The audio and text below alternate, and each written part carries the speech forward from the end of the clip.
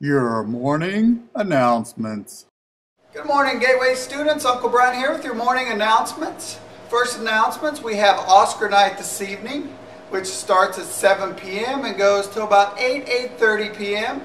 Uh, make sure you're here to check out your videos and what awards they did win from Deeper Weekend.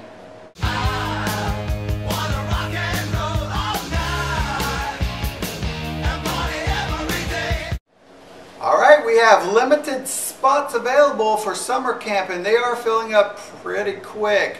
So you need to hop on that website and get yourself registered. Uh, it's, the website's www.gateway-community.org forward slash students and you'll see the little logo there. Just click on that and sign yourself up.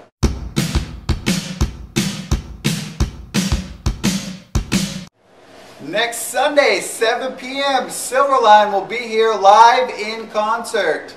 And I hope you all have got the message on this. And what we're doing, instead of charging you a fee, is we're accepting a love offering at the end of the show. So make sure you uh, bring a couple dollars if you'd like. If not, we're not asking for anything.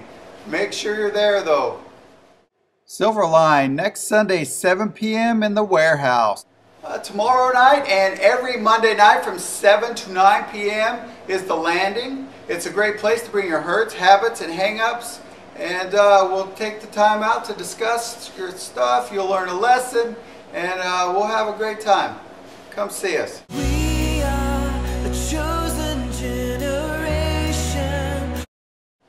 Coming up this Friday, March 1st, is The Edge. It's for the 7th and 8th graders. It's from 7 p.m. to 9 p.m. Going to have fun, games, Bible study. It's a great time. So make sure you're there, 7th and 8th graders. Okay. Living on the. All right, guys. See you next week, and God bless.